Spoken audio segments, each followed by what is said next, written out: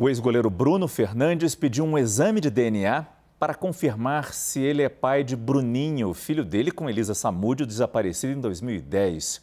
No ano passado, a Justiça determinou que Bruno pagasse uma indenização de 650 mil reais à criança. Pedido de exame de DNA faz parte de um recurso de apelação contra a indenização de mais de 600 mil reais que Bruno foi obrigado a pagar a Bruninho por danos morais e materiais. A decisão ocorreu em outubro do ano passado pela Justiça de Mato Grosso do Sul. Segundo o advogado de Bruno, Wilton Edgar Acosta, quando houve o reconhecimento da paternidade, a decisão foi baseada em um depoimento de Bruno durante a investigação sobre o caso. O advogado também alega que o goleiro não tem recursos financeiros disponíveis e que não consegue arrumar um emprego para seguir a vida. Há cerca de três semanas, a Justiça do Rio de Janeiro concedeu a liberdade condicional ao ex-goleiro do Flamengo.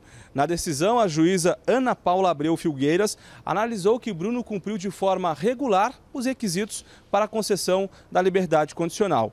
Ele já estava em prisão domiciliar semiaberto desde 2019. Agora, portanto, não há uma restrição de horário para voltar para casa. Entretanto, ele está obrigado a comparecer a cada três meses à Justiça para assinar um boletim de frequência e atualizar o endereço.